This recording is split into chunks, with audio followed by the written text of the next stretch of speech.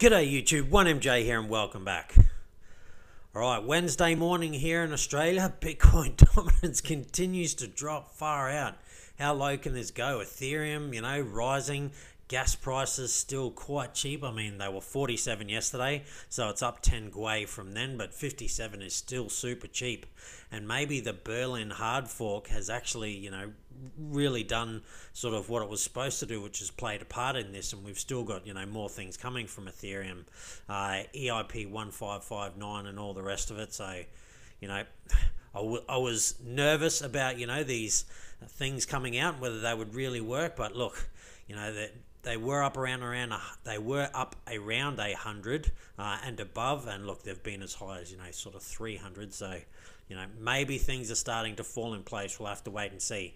Now, the market cap is one point uh, two point one six four trillion dollars, so that's good. Again, it's up five five point six percent, so not too bad. But people are really kind of, you know, Bitcoin's going up a little bit, which is good, but they are just piling into the altcoins at the moment. And again, look, we spoke about the markets yesterday. I'm still not, you know, sold that this can't sort of roll over and go lower. I'm not saying it will. I never offer financial advice.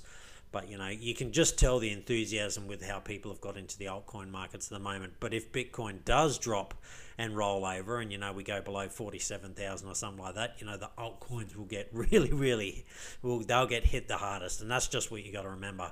But anyway, we're not going to focus on you know doom and gloom or anything like that. Let's have a look. It's basically a sea of green at the moment, and even in the seven days, it really does look like things have turned around and gotten a lot better. Again, you know, Dogecoin kind of traveling sideways at the moment, so 27 cents. Uh, you know, could be a good buy-in price. You know, again, you know, if you fundamentally believe in Dogecoin, then it doesn't really matter what price it is. But if you're looking to kind of trade it, could be a good entry point. But again, you know, you'd have to go have a look at the actual proper chart, and I don't have that up at the moment. But based on just the seven days, kind of looks like it's flattened out a little bit there. All right, uh, XRP, there you go, coming back strong. All right, what has done the best in the top 100 in the last 24 hours? Let's have a look.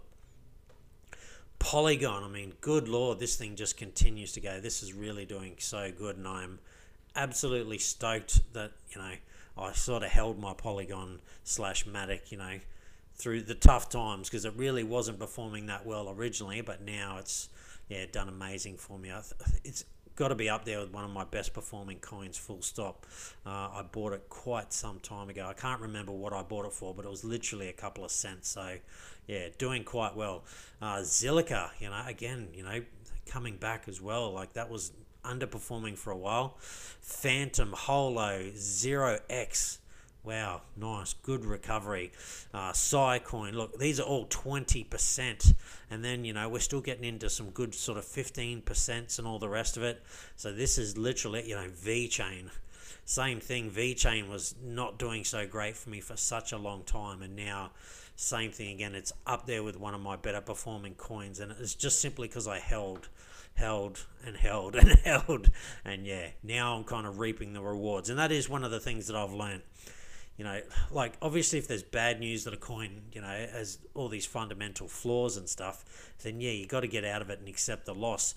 But if a coin simply isn't performing well, but is still fundamentally good and all the rest of it, yeah, for me, I'm just holding. And again, I never offer financial advice, but that's just my personal opinion, and that's what's worked for me, and it's worked pretty well. You know, what I'm kicking myself about is XRP. You know, I got caught up into it, sold it at a loss uh, you know, held on to some of it, so that's good. Uh, and you know what I held on to is doing well, but yeah, I'd be up so much more if I simply had a held. So you know, lesson learned. But I mean, again, look, a sea of green. All right, is there anything that hasn't done really well in the last 24 hours? The last three days, there's been one or two coins that hasn't, and then it's all just, you know, those really small, you know, basically less than 1% losses amongst the stable coins. Is that going to repeat right now? Let's have a look. Good Lord, in the top 100, there's one coin that is in the uh, minuses and it's 1.1% and its liquidity uh, USD. So there you go, Filecoin, uh, you know, still making a gain of, you know, 0.5%. So, you know, well done. That is, that's an amazing you know, kind of 24 hours. And look, even the last seven days now are starting to look pretty good. They really have done well. Let's have a look. What's performed the best in seven days? Well, Polygon, nice. Again, Pirate Chain, good lord. You know, ladies and gentlemen, please be careful. I don't know anything about it, and maybe it's a legit coin, but uh, yeah, yeah, I'd be really worried about that. All right, seven days, what hasn't done well? Let's have a look at that just for something different. Well, there we go Doge, Quantum Ontology. There's a number of coins that are down over seven days, but really only Doge has really been hit the hardest. The rest of them, not so bad, but again, it does look like they're all starting to bounce back. So things are looking good in the market. Let's go have a look at Bitcoin uh, price. Now, again, as I spoke yesterday, I'm still worried. I really need to see us break above the 50 day moving average and also begin to use that as support again. Because at the moment, we're not even back to the 50 day average, and we could simply reject on this and then roll lower. And again, I'm not saying we're going to come down here. I've got this box in where I think it's a really great buying opportunity anywhere inside here. And look, even just to the top side, again of you know that 47,000 ish dollar mark thereabouts I think that's going to be a good buying opportunity. And that is what I'm looking for. Do we get rejected from the 50 day and then we have to come down into here where there's lots of buying going on? And again based on you know the 100 day moving average support we might just simply reject from the 50 and come back down to the 100 uh, day moving average and aggressively get bought up again but no guarantees in life we're just waiting to see for me I don't think it's the end of the bull market. So any time we're below an old previous high, I'm pretty happy to buy, you know, Bitcoin if it's Bitcoin or whatever coin we're talking about. Again, unless the fundamentals have changed, if there's something fundamentally that's changed about a project, then you have to reconsider all of that. Or if there's something that's fundamentally changed in the entire crypto space, i.e., we're now going into a bear market, then different story. That changes. But for me at the moment, if things have set an all time high, you know, careful and cautious about whether I want to buy. I really want to see a correction. So again, we see this kind of stuff. I'm like, oh, I'm just going to wait for a retracement, and then we get a retracement, and you know, no one knows how much lower it's going. But if we see a retracement of somewhere around sort of 15 to 20 percent, for me, that's a good time to start buying in. Uh, not so much in Bitcoin because sometimes Bitcoin. Uh, no, even Bitcoin, yeah a 20 a 15 to 20 percent uh, you know correction that that's a good buying price in most of these coins. But you know in the altcoins sometimes it can be a lot more. Sometimes you really need to look for maybe 30 to sort of 50% corrections. But yeah really again no one's ever going to pick the top and the bottom and it might only be a small 10 15% correction before it goes you know another 100% higher in the altcoins so you know you got to work it out yourself but for me 15 20% corrections if i think we're still in a bull market I'm buying that stuff up in whatever coin I'm in. Again, that is, yeah, that's where the real money's made. It's not that you can't buy here uh, and then just wait until it goes to here. You can, but yeah, buying those corrections generally works out. Anyway, that's the charts. That's what I'm looking for. We're still off. The 50 day moving average is about 50,700. So we're, sorry, that's not correct. That's not 50,000. Uh, 56 thousand eight hundred and sixty ish thereabouts. So fifty seven, yeah, sort of thousand. We're about fifty five at the moment, so we're close, waiting to see what happens. All right, so some interesting stories I've found. So Ethereum price all time high follows reduced gas costs and DeFi revival. Okay, analysts expect Ether price to rally to new all time highs uh, since the Berlin upgrade resulted in a drop in gas fees and a surge in DeFi activity. And again, we go back to the markets, it definitely does look like that's kind of true. I mean, Ethereum, you know, 26, I, th- I think that is its all time high. I don't think it's been higher. And gas prices, well, they rose a little bit there by three, but, you know, still 60 compared to the 100 and, you know, 200 and 300 we're at. Maybe it's worked. All right, so we go down here and it says after the Berlin upgrade was successfully implemented on April the 15th, the average gas fee began to decline to more manageable levels, resulting in an increasing in trading volume on the top decentralized exchanges like Uniswap and SushiSwap. So again, we just looked at it. Well, maybe Berlin has done what it's supposed to do, and we've still got EIP uh, 1559, I think it is uh, whatever it is, the EIP one coming up. I can't remember the exact uh, num- numerals that come after it. Things are looking good, but again, I'm proceeding with caution. I'm still bullish on Ethereum and love it, but I'm just scared that the gas fees are going to go up uh, fairly quickly. You know, after all this stuff has happened, you know, the gas fees coming down has also uh, had a lot to do with. We've just been in a bit of a, you know, a retracement uh, since around about the 15th, not quite the 15th, a little bit after, but I think that has a lot to do with the reduced gas fees. All right. Now you can run an ETH2 validator node without fees or penalties. This sounds pretty good. So a blockchain financial service provider offers no fee. Now this is what I really like, no cut virtual node hosting that includes insurance against slashing penalties. This that's impressive. So a blockchain financial service provider now, now offers an Ethereum 2.0 validator node hosting service, excuse me, that does not charge fees or take a cut of the staking reward. I'm not sure how that works. How do they not uh, take at least some kind of fee of the staking reward? Definitely have to look into that. Abyss Finance promises to make earning rewards for validating transactions uh, on the in development ETH 2.0 uh, proof of stake blockchain as cheap and safe as possible. So that's what I mean. There's got to be a fee. I'm not sure, you know, they say taking no staking rewards, fair enough, but there's going to be a fee, which basically takes some of the staking rewards. So there's a bit of wordplay going on there. It'll just be interesting to see, you know, what they're charging for it. But it is good that, you know, they don't have any slashing fees. They cover the insurance and all that for it. So in exchange for locking uh, into a staking contract with an unlock waiting period of 14 to 28 to 90 days. So that's what you need to remember. That's, you know, it might take you three months nearly to unlock your coins. Abyss Finance provides a completely free service and protects against loss of funds for slashing uh, penalties. Completely free service. Again, this is weird. I'm going to have to look into this. They're talking about uh, as cheap as possible. Now they're saying free service. yeah, needs more investigation.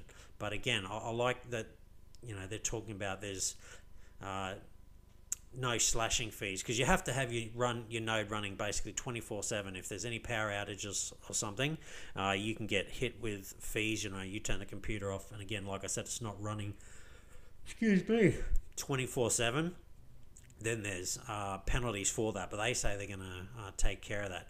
So one reason Abyss Finance can offer that insurance and keep ETH 2.0 stakers rewards as high as possible is its use of Allnodes as its node hosting service. Its research found that Allnodes offers the best service around, as well as being the hosting and staking platform that generates the highest overall income for ETH 2.0 validators. Data that's backed up by independent research from ConsenSys uh, CodeFi. Beyond that, Allnodes boasts a 99.90% uptime service level agreement, making it one of the most reliable node hosting service providers available, the company says. So this all sounds pretty good at the moment, and I definitely want to do some more research into it. But again, I just need to find out because it says as cheap as possible. Then it's saying uh, completely free service. Nothing's for free these days. There's always some kind of cost. So yeah, I think this definitely deserves uh, more looking into, and I might do that uh, later today or early tomorrow and make that part of uh, my video. But this looks pretty good. All right.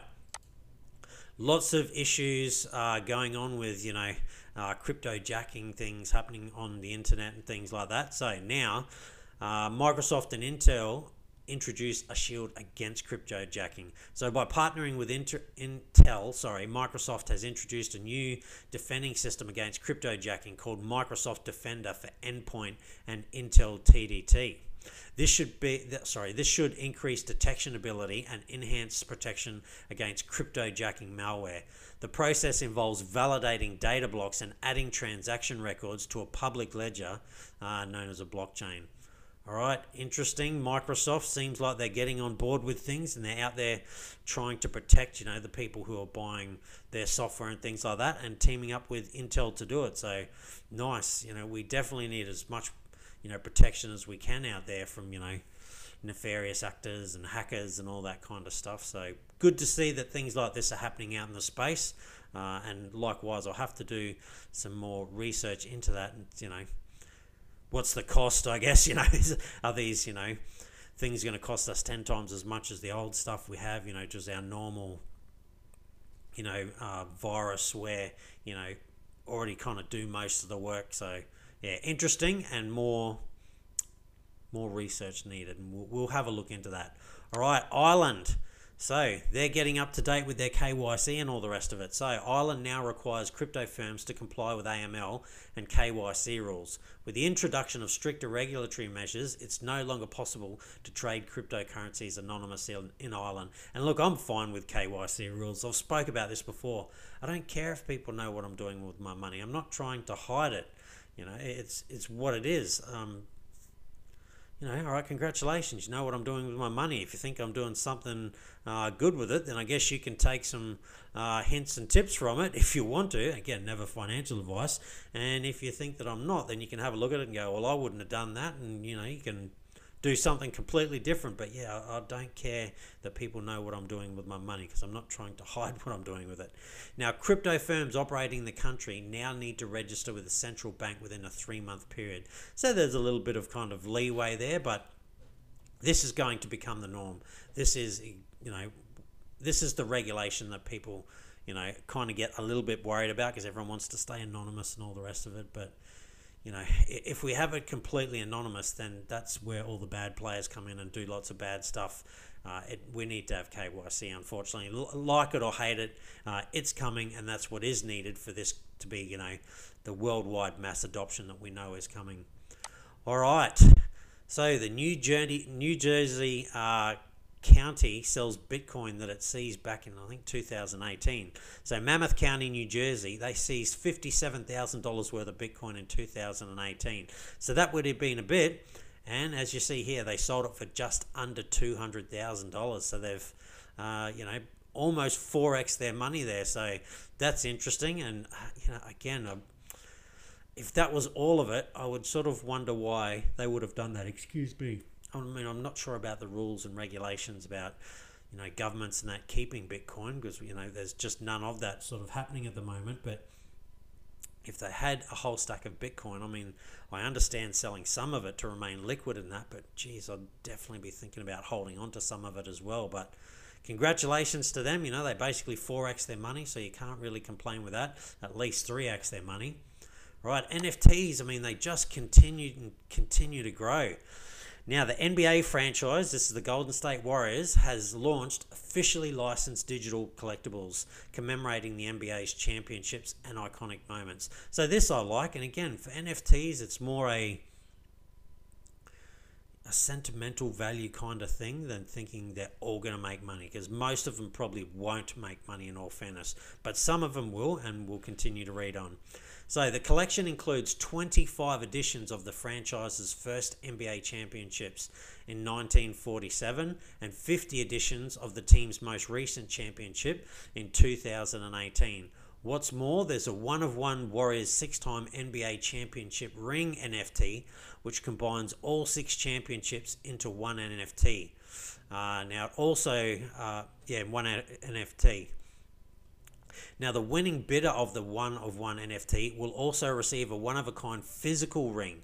Now, that is due, uh, and they're due to be received at an on court uh, home game for the Warriors. So, not only do you get the NFT, but you get a physical ring to go with it. So, that's what I mean. That's what I like. And this one of one stuff, I mean, I really do think they will actually be worth money. And don't get me wrong, some of these other ones, you know, could be, but it's more, you know, you get a physical ring and then you get the NFT. You know, you get the on court experience of being handed it to you. So, you know, some of these NFT things, you know, I love what I'm hearing, but again, I just don't know enough about them. I wouldn't have the money, you know, to be able to afford that kind of thing, and I wouldn't be able to get over to the Warriors home game to get it. So, yeah, for me, I, I number it's mostly I couldn't afford it. If I had the money, I, you know, I possibly would go after something like that. Uh, I'm you know, I don't mind the Warriors. Uh, you know, more of a rugby league fan than a basketball fan, but I do love basketball. Don't get me wrong. Uh, yeah, very very interesting. And it, again, we talked about another one the other day, the Eminem one, where there was a one of one and all the rest of it. It will be very very interesting to see how much these one of ones go for and how they hold their value in the future. But again, the NFT space, I think it continues to grow and becomes an absolute behemoth. All right, Cardano. So the partnership between IOHK and the Ethiopian government will see a blockchain-based identity solution rolled out to schools nationwide. So again, this is over uh, in Ethiopia, and there's been talk about uh, Cardano doing work, you know, combining with governments uh, over in Africa and things like that. And this is the start of it. So, announced today, the deal will see Cardano based decentralized identity solution, Atala Prism, initially deployed in the country's schools. It will be used to create tamper proof records of education performances across 3,500 schools and for 5 million students to instantly verify grades. Again, this kind of stuff is the future. This is where it's all going. You know, Africa is, believe it or not, is quite tech savvy uh, you know, they're onto a lot of things. They may be a sort of smaller, underdeveloped nation uh, in a lot of ways, but they are really, you know, they're jumping onto technology and they're using it very, very fast and adapting to it. Oh, excuse me, I've got to stop that. Uh, very, very quickly, and it looks like Cardano is at the forefront of that. So, congratulations. Last but not least, MasterCard. All right, we know they've been getting into the crypto space for a while. So, MasterCard is launching a new cryptocurrency rewards credit card featuring real time rewards in partnership with crypto exchange Gemini, so the Winklevoss twins. Cardholders will earn up to 3% back in real time in Bitcoin or a number of supported cryptocurrencies. So it sounds like you might have a bit of a choice. Holders of the new credit card will earn up to 3% back on qualifying purchases. So, you know, I guess we got to find out what the qualifying purchases are uh, and they can do that with more than 30 cryptocurrencies supported by the exchange. Cryptocurrency rewards will automatically deposit, be deposited into the cardholder's account at the exchange, so you're going to have to have a Gemini account. Now, there is also no annual fee for the card, so that is pretty good. It's yeah, sounds very, very promising and very, very interesting. Uh, and again, I think this it is going to be the way of the future. Um, I, I think this stuff is just going to continue to grow and grow and grow. And, you know, this is kind of where a lot of it will start for people. They probably won't be into crypto, but they'll have a MasterCard and it'll tell them, look, you, you get this MasterCard and they automatically sign you up to uh, an account at Gemini. So you don't really have to do any KYC in that because you've already done it to get the MasterCard. It could be wrong. This is just where I think that it's going and then every time you use your credit card, again, you get to choose. And most people will just go Bitcoin at first. They're like, yeah, right, Bitcoin, I know I can trust it. And, you know, they will, 3% of whatever is generally nothing, you know what I mean? But over time, because they might not check it regularly, and then, you know, they might not check it for a year or two, and then they go back, and then all of a sudden, again, Bitcoin's been on this big mad run. It'll be the other way around if they check it, uh, and it's been in a bear market. They'll go, oh, this sucks. But again, at some stage, they're probably going to check it, and they're going to get a nice surprise, particularly if they kind of don't touch it for years. They're just like, ah, I don't, you know, really know about this crypto stuff, and they just use this Mastercard, and then one day, five, ten years in the future, they go, you know what, I better check these, you know, bloody uh, rewards that I've got. and I'm not saying that I'd say it like that, but some people would, and then all of a sudden they could find, you know, like a not a small fortune, but you know, hundreds, thousands of dollars or something in there that they never thought they would have had.